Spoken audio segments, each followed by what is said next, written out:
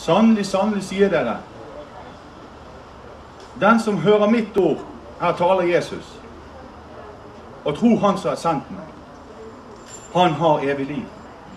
Han kommer ikke til dom, men har gått over fra døden til livet.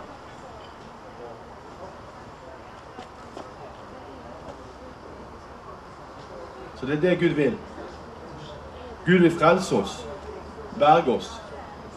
Som vi hørte, på så høyt har Gud elsket verden, deg og meg, at han sendte sin sønn, den enbårne, for at hver den som tror på ham, ikke skal fortape seg med evig liv. Vi var i en situasjon etter syndefallet, etter Adam og Eva hadde syndet mot Gud og var ulydig, og hadde spist ut fra denne visdommens tre, fikk kunnskap mellom godt og ondt, så måtte det skje som Gud har sagt. Den dag dere spiser av det, så må dere dø. Vi fikk denne frie viljen, for vi var ikke født som slaver, vi var født frie til å kunne elske. Og den frie vilje har vi fremdeles i dag. Vi kan si enten ja, eller vi kan si nei. Det avgjør vi sjøl. Men før man sier nei, bør man ikke undersøke hva ligger det i den pakken her man sier nei til. Før man sier nei, nei, det er ingenting for meg. Man bør jo granske og se er dette her noe for meg. Hvis man litt, har litt visdom.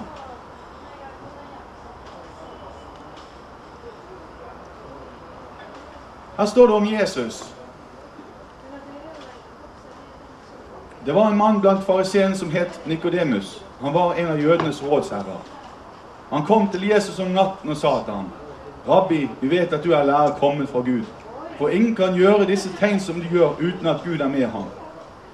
Jesus svarte og sa til ham, Sannelig, sannelig, sier deg, uten at en blir født på ny, kan han ikke se Guds rike. Nikodemus sier til ham, Hvordan kan et menneske bli født når han er gammel? Kan han vel annen gang komme inn i mors liv og bli født? Jesus svarte, Sannelig, sannelig, sier jeg deg, uten at en blir født av vann og ånd, kan han ikke komme inn i Guds rike. Det som er født av kjødet, er kjød, og det som er født av ånden, er ånd. Undrer det ikke over at jeg sa til dere, dere må bli født på ny. Vinden suser dit den vil. Du hører den suser, men du vet ikke hvor den kommer fra, hvor den farer hen. Slik er det med hver den som er født av ånden. Man må bli født på ny. Hvordan blir man født på ny? Er det noen som vet hvordan man blir født på ny?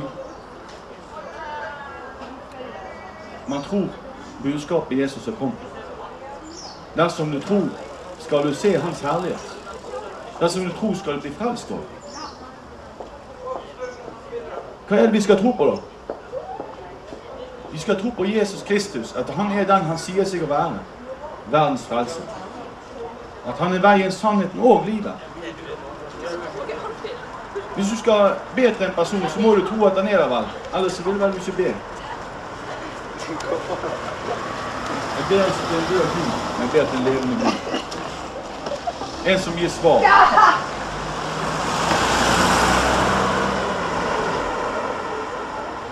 En levende Gud. Som hører menneskenes ro.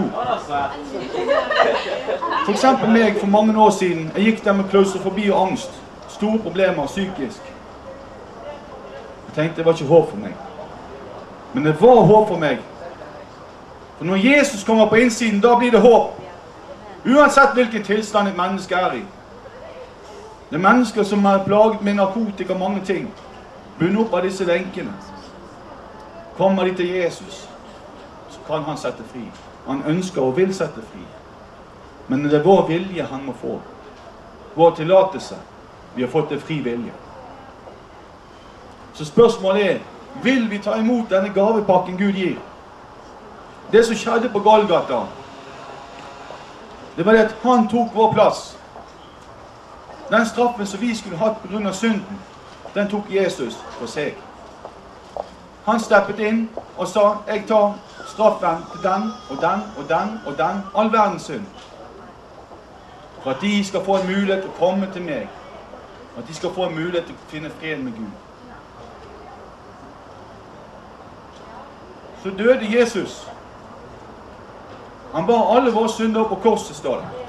Han utslettet skyldbrevet som gikk imot oss.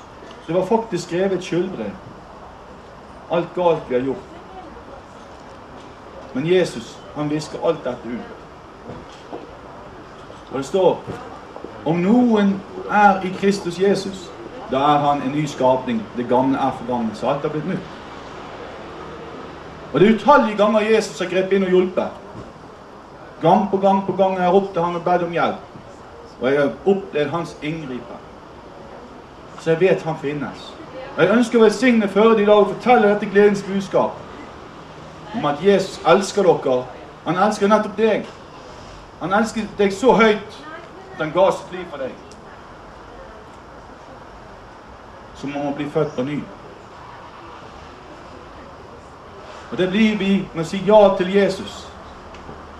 Jesus, kom inn i mitt hjerte. Tilgi meg all min synd. Rens meg. La mitt navn bli oppskrevet i livets bok. La det aldri bli slettet ut derifra. La meg få Den hellige ånd til pant. Og så skjer det i et nu. Ny skapning Kristus Jesus. Og så står det det glede i himmelen. Og englene gleder seg for hvert menneske som kommer til Jesus og blir frelst. For det er så viktig, for vi er evighetsvandrere. Det er ikke slik at når et menneske dør, så er alt svart. Alt er ferdig. Nei. Man lever videre. Så er spørsmålet hvor skal vi leve videre? Har vi tatt imot Jesus Kristus?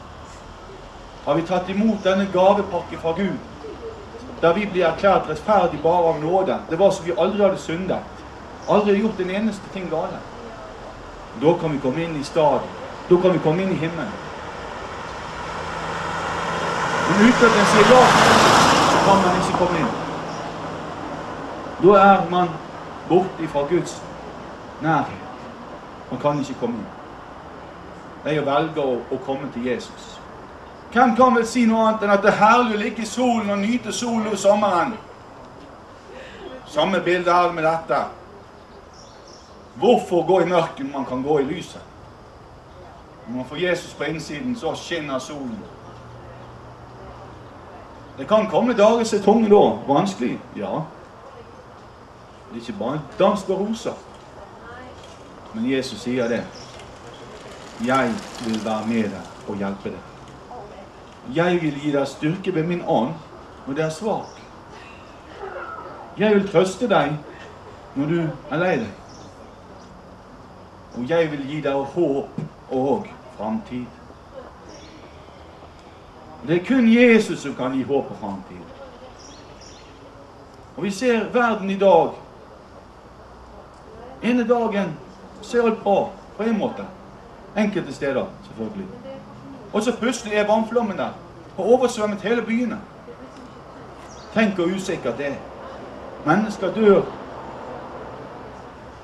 Vi vet ikke når. Det er ingen som vet det. Men tar man dette steget og sier ja til Jesus, så står det om du enn dør, så skal du leve. For da har du fått det evige liv på innsiden som gjør at du kan komme inn i himmelens dal, herligheten, der det bare glede, fred og kjærlighet i Den hellige ånd. Ta imot Guds gavepakke. Ta imot Jesus. Det er det klokeste valget et menneske kan gjøre, å si ja til Jesus. Jeg angrer ikke et sekund på at jeg sa ja til Jesus. Jeg er så glad for den dagen her. Om jeg bare kunne huske og satt en dato der, så skulle jeg feiret den hvert et eneste år. Men jeg feirer den uansett. Men fra den dagen når Jesus kom inn, og jeg fikk fred med Gud